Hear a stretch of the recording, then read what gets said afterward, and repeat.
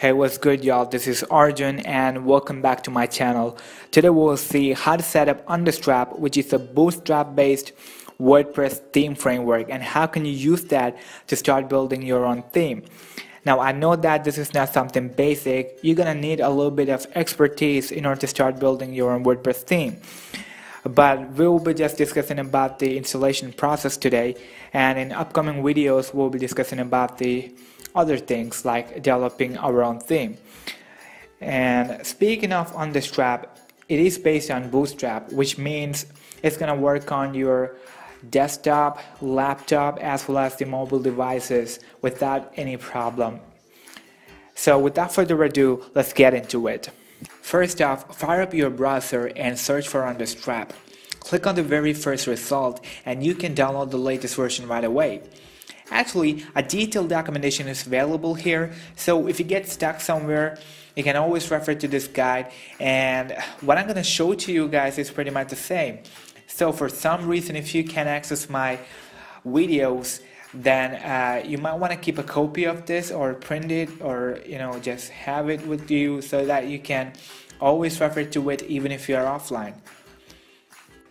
Now after you have downloaded your copy of Understrap, the next thing you need to do is upload it to your WordPress theme directory. For this you need to log into your WordPress dashboard using your username and password. Then navigate to the theme section and click add new. Then upload your zip file. And if you have uploaded successfully then you will see a message like this. Now click activate to activate your theme.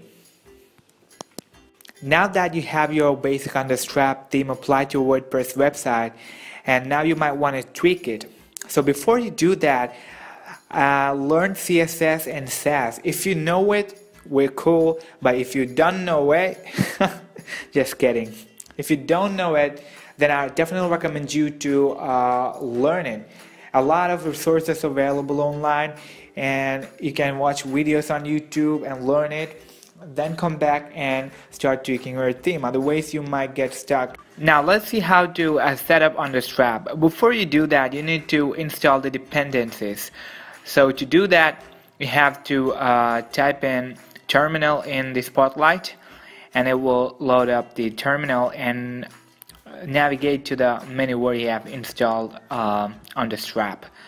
in my case ht docs wp wp content themes and understrap so understrap and drag it to the terminal and it will give you the path. Now hit return and type in npm space install you can find all these commands in the documentation that I mentioned earlier. It will start the installation and it's gonna take a while because it's around 130 MB or something like that. So it's gonna take a little time. Once your installation is successfully completed you will see a folder called node folder in your Understrap directory like this so if you're seeing this you have successfully installed node and all the dependencies needed to uh, work with the Understrap now that we have everything ready now we're gonna work with the Sass here I'm just going to show you uh, how to uh, change something that comes with uh, the default Understrap using Sass. So uh, open any text editor. Here I'm using Sublime Text. Any text editor is fine. And add a project folder. You have to navigate to htdocs and then select uh, your WordPress folder, WP content, themes, Understrap then select Sass and click open. So you will see a directory like this. And inside theme folder there is a underscore theme SESS this is where we uh, define our custom style. So let's define something here. Uh, body background um, background red double F for zero and let's set it as important now let's see if this change is applied to our website. Let me refresh this. No, the change is not applied. It is because we haven't compiled our Sass file. To do that, we need to go to the terminal and navigate to the folder where you have installed the Understrap. But this time you have to uh, navigate to the Sass folder inside the Understrap directory. So uh, WP content and themes Understrap and inside you can see a folder called Sass now drag that right into the terminal. Okay now hit return and you have successfully entered to the Sass folder. Now type in the following command sudo gulp watch and if you're seeing something like this enter your administrator password. And yeah once you get this it means that uh, it is watching for the changes. Now let's save it again and let's go to our browser and refresh. Boom. The changes have been successfully applied.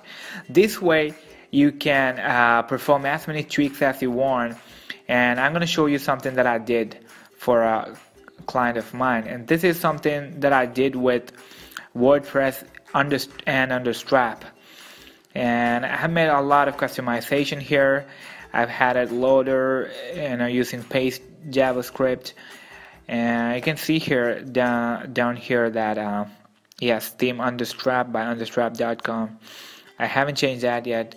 It's currently under construction so but uh, this is just an example you can build any way you want you know with Sass and Understrap, you have the power to uh, edit whatever you want.